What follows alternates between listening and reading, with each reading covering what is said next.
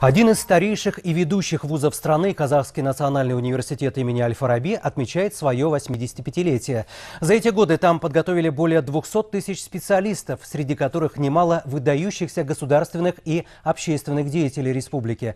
На торжество приехали лучшие выпускники, зарубежные дипломаты и представители международных организаций. Свое приветствие юбилярам направил президент Казахстана Касымжомарт Токаев.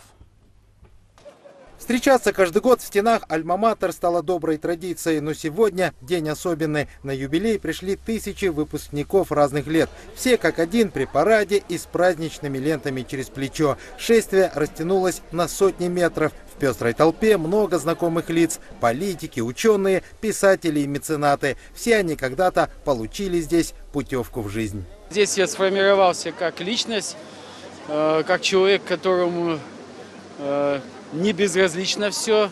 Здесь научили меня исследовать э, различные ситуации, делать правильные выводы, а самое главное – плотно работать.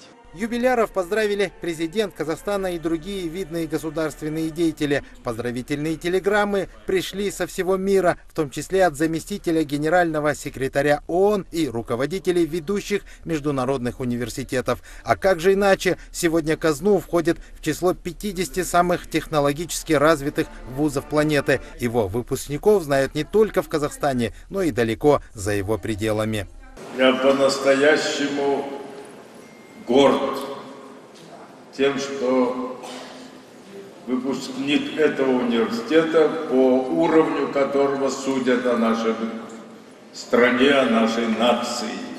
В честь праздника лучших выпускников наградили юбилейными медалями. Все эти люди – гордость университета, который является главной кузницей политической, культурной и бизнес-элиты Казахстана. Вузы сейчас становятся драйвером развития не только вот образования, науки, в целом всего общества. Потому что поднимая науку, образование, э, поднимая инновацию, э, э, повышая качество человеческих, человеческого капитала, только тем самым мы можем поднять наш уровень, нашу страну в целом.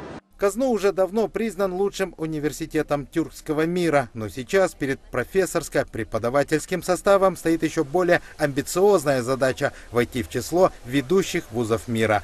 Цель определена, движение к ней уже начато. Оскар Сергалиев, Максим Шулепов. Главные новости.